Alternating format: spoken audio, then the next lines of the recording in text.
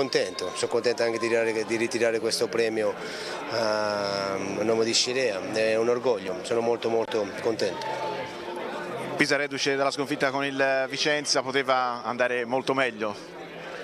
Sì, poteva andare meglio per come era, com era, venuta fuori la partita, 11 contro 10.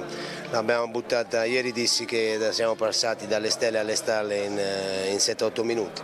Siamo stati ingenui, abbiamo commesso degli errori, ma non c'è tempo per recriminare, adesso bisogna guardare avanti. Mancano 12 partite, secondo me le partite saranno tutte così tirate.